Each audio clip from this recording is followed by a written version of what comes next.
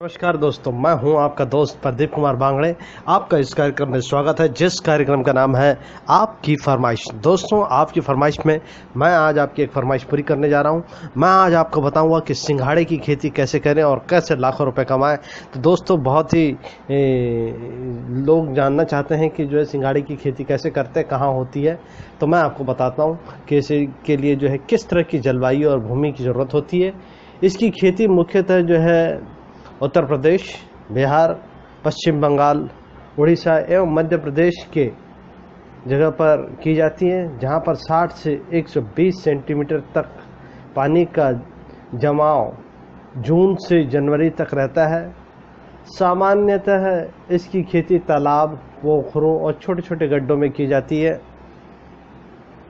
कौन कौन सी प्रजाति होती है वो भी मैं आपको बताता हूँ। सिंघाड़े की दो प्रकार की किस्में होती हैं, हरे छिलके वाली और लाल छिलके वाली। व्यावसायिक खेती के लिए हरे छिलके वाली किस्म अच्छी मानी जाती है, क्योंकि लाल किस्म तुड़ाई के एक दिन बाद काली पड़ने लगती है, जिससे उसका बाज़ार मूल्य घट जाता है। प्रसारण एवं रोपण।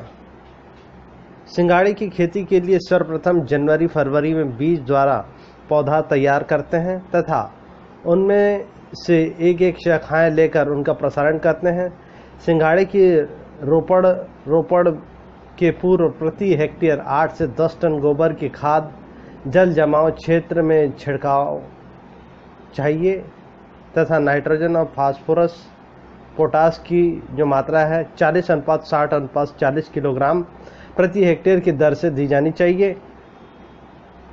एक तिहाई नाइट्रोजन तथा पूरे फास्फोरस एवं पोटास की मात्रा रोपड़ से पहले दी जाती है। शेष नाइट्रोजन की मात्रा दो भागों में बांटकर एक माह के अंतराल पर देना चाहिए।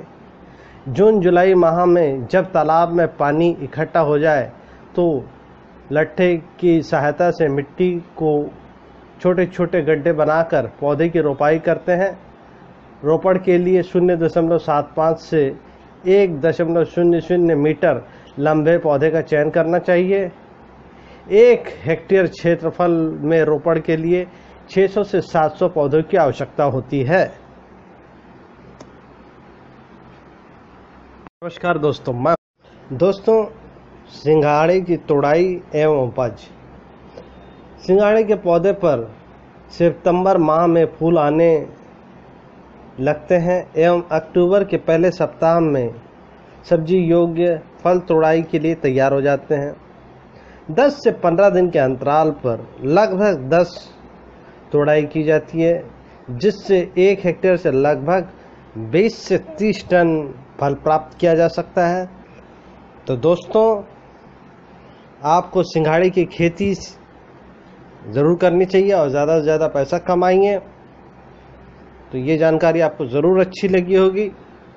अगर आपने मेरे चैनल को अभी तक सब्सक्राइब नहीं किया है, लाइक नहीं किया है, शेयर नहीं किया है, कमेंट नहीं किया है तो ज़रूर करें। आपसे निवेदन है और अपने सुझाव अवश्य दें। तो दोस्तों, इसी के साथ मुझे इस कार्यक्रम से जाने की इजाज़त दीजिए। नमस्कार, जय हिंद। दोस्तों